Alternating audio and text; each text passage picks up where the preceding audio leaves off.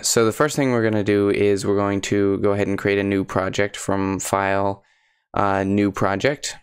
And then we can just save this as a new Arduino controller project and then we'll just open up the schematic editor for that project. So the first thing we need to do is we need to create a spot for the Arduino Pro Micro to actually be connected to the PCB uh, in the schematic. So if we hit A to add in something, what we're going to want to add is a, a, connector row. So this is uh, basically like a row of pin headers. Here we can see a pinout of the Arduino Pro Micro, and basically that totals up to 12 per side. So we're going to look for the connection uh, 1 by 12 pin and we're gonna go ahead and add one of these in. Now this is um, just one side of it so then we'll go ahead and uh, duplicate that with command D, rotate it around so it's the opposite rotation. So this right here basically just represents where the board will slot into. So the next step is to label each of these ports here so that we can see what it is and for that we can use the label feature in KiCad which allows you to sort of teleport one end of a wire to another location. So if we press W to switch over to the wire tool then we can can just go ahead and drag out some little wires here and double click to end them in open space. And then we can use L to open up the label tool. And then we'll just label this uh, D0.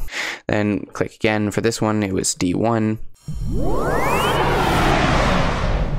Okay, so this is our Arduino Pro Micro, and that's effectively where we'll slot it in. So the next step is to go ahead and add in all of the other components. So there's going to be uh, two joysticks, the 10 buttons on the face, and then the two buttons on the top as we discussed. So let's go ahead and get one of the buttons set up because once we do the wiring for one button, all of the other buttons are going to be basically the same. But before we do that, let's talk about how we're going to get this PCB manufactured. We're going to be using PCBWay, who are very kindly sponsoring these videos. They have a super awesome PCB service where you can upload your manufacturing files, change the PCB to a fun color, like red, and have it made and delivered to you very quickly. Check out the link in the description to pick up one of these boards right from PCBWay. So the first step is A to add, and then let's search for switch push. That looks promising. Yeah, so here we go. We have one with two leads, and then we have the uh, dual one, which is one with four leads. So we can go ahead and grab this uh, dual one, which is with four leads. If we go ahead and add that, that is our switch. So then what we're going to do is um, we want to add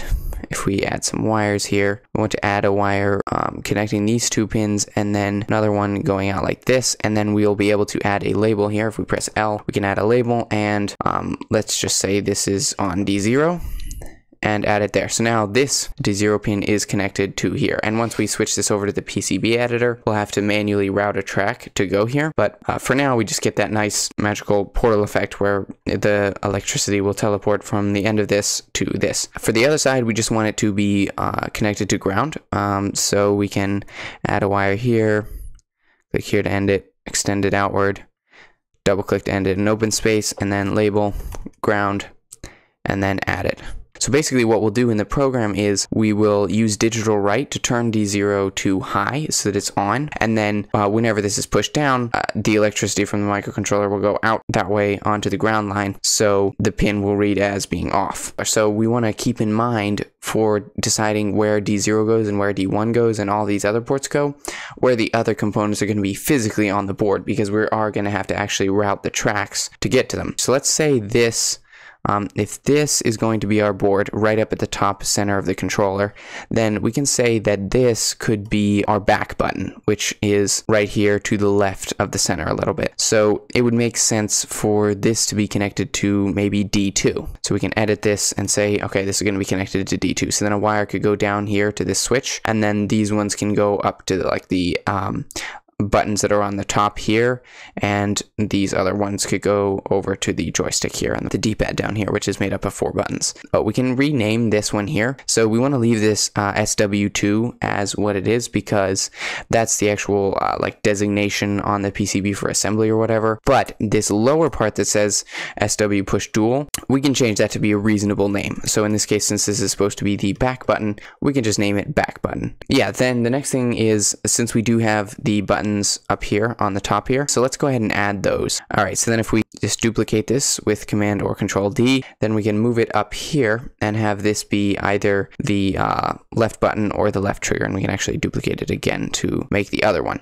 And then we'll just edit one of these to be left button, edit the other one um, to be the left trigger. So then if we imagine these wires coming over here, we could have D1 go down and come up here, and then D0 could go over the top and go down there. So this could be labeled uh, D1, and this could be labeled D0. And now we can make the D-pad down here, which is just four buttons. Um, so if we duplicate that, we can put one here, one here, one here, and one down here. So we have some more, we already used D0, D1, and D2. So um, D3, we have to keep in mind, we don't want to connect D3 to this, uh, the up arrow on the D-pad here, because then how would we get to, well, we actually could probably go under and go there, but it might be easier if we make this one be D3, then D3 can come up and over and go down here, and then D4 can go under that and go right here. Um, then same thing, we probably want D5 to come down in here. So we can have that be D5, and then D6 can just come down here, and this can be D6. And that way we have D7, D8, and D9, which can go over to this section for the other buttons that are going to be over there. All right, now this is not very centered. So let's go ahead and move it over a little bit so we claim back a little more space. then since we want an arrangement with four buttons over here to be like the uh, X, A, Y, and B, or for PlayStation people, circle, square, triangle, etc. We can just duplicate these and bring them up here. And okay, we actually also missed renaming them down here. So if we edit that, then we can make this up. This one can be uh, right this one is down, and this one is left. Okay, so now that we have those, then we can rename these using the Xbox convention. So this is A, this is B, this is X, and this will be Y. Okay, the other thing to consider is we're going to copy these two, duplicate them with Command or Control D, and then drag them over here. And then we will also need to duplicate this one so we can have another menu button duplicate that and put it right here.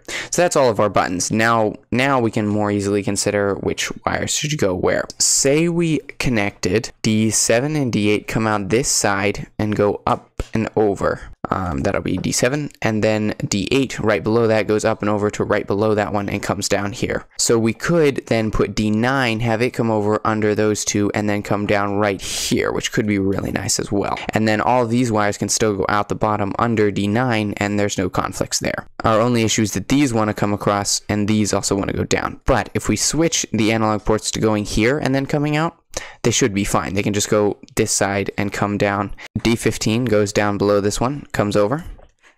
D15. Uh, D14 goes down, comes over, goes down to this one. That's D14. Uh, D16 can just go straight across and down to right where uh, this one is. And then D10 can just go right below that down to here. Okay, so now we have all of our buttons connected up. Then we want to add, search for joystick and we don't see anything. And the reason for that is because it is under potentiometer dual. We can just use this dual potentiometer because that's what a joystick is, just two potentiometers. And I'm going to name this left stick. And then we can um, just connect these to their appropriate ports. So we're going to need one side to be VCC and one side to be ground, uh, and the same here. And then the middle on each of these will need to go to one of the analog ports. So um, A3 and A2 are higher up, so we're probably going to want them for this. So if we press W to add a little wire out, extend to the left just to make it a little nicer, and then add a label. Let's have this be A3, and we'll figure out how to connect it when we get to the PCB part and then wire up, wire over a little bit, double click to end it. L for a label, that one will be A2. And then we just need to connect ground and power to both of these. So I'm just gonna add a wire. You can click to add this sort of corner so we can get around this label and not overlap with it. And then I can click again to create another corner and we can add a label, ground, add it there, wire here, you can just go over and make that be ground with a label called GND. And then we just need to add a, um, a VCC on each of these.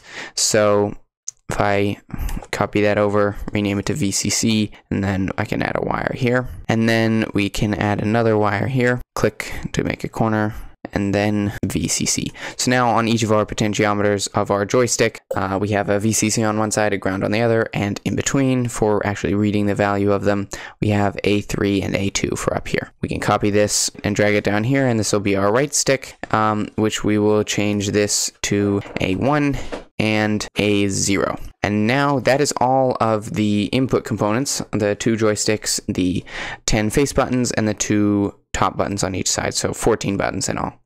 Um, then if we want to add a little status LED, um, we can add an LED by add and searching for LED. We can go ahead and add one in and then so that we don't fry it by sending 5 volts through it, we're going to want to add a resistor as well. So we can add by pressing A, search for R because the is just called R and bring that in. We can press R to rotate it so it's rotated nicely and then we can uh, go ahead and wire it up from this side to this and then from this we'll need it to go to ground. And then so from this that will be a VCC so whenever the board is plugged in it'll be sending out 5 volts on the VCC which will go through this resistor through this LED and to ground. So we'll always have that LED on whenever the Arduino is on. Now that we have our schematic the next step is to turn it into a PCB in this video right here